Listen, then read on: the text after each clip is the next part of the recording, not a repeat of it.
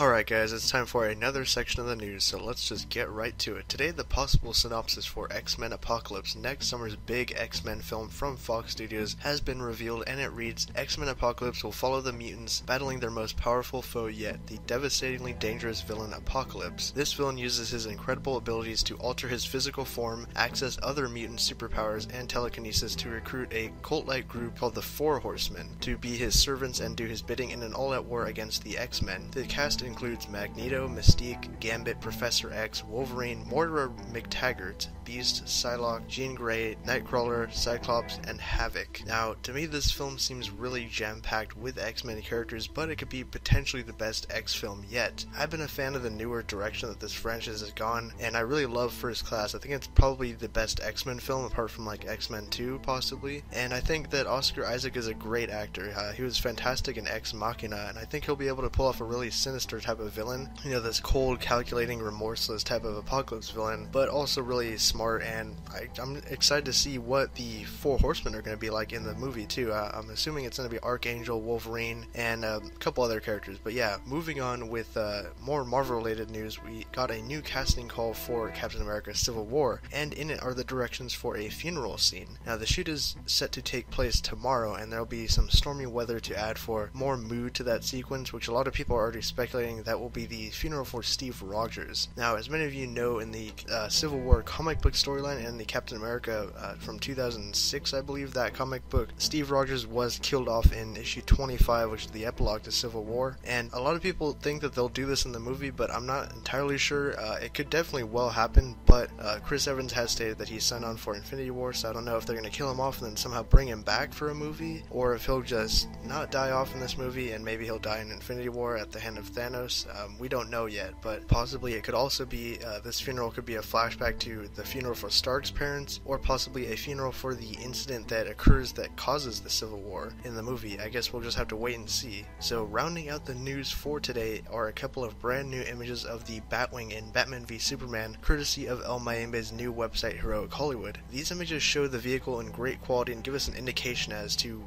the more comic book design that this vehicle has, which was really lacking in the Nolan Bat version of it. Overall, I just really love this design, and I'm glad that this version of Batman will actually use more gadgets and vehicles more so than any other live action incarnation that we've seen so far. We got to see it briefly in action during the first teaser for Batman v Superman, and it seems to have cannons and possibly a vertical takeoff landing mechanism. Anyways, that's all the news we have for today. Uh, sound off down below with your thoughts, and I'll see you guys next time.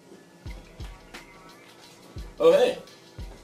I hope you guys enjoyed what you just saw. I don't know what exactly you just saw, but I hope you guys enjoy it. And if you really did like it, go check out our other stuff. You know, we have social media, Facebook, Twitter. The link should be somewhere here. Also, we have other channels too. We have our movie video game channel. We have our music channel.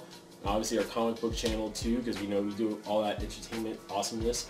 We also have a website. Go to our website, HybridNetworkYT.com and check out our other videos. Uh, that's all I really have to say. It's Josh, and you know I hope you guys enjoyed you know what you watched.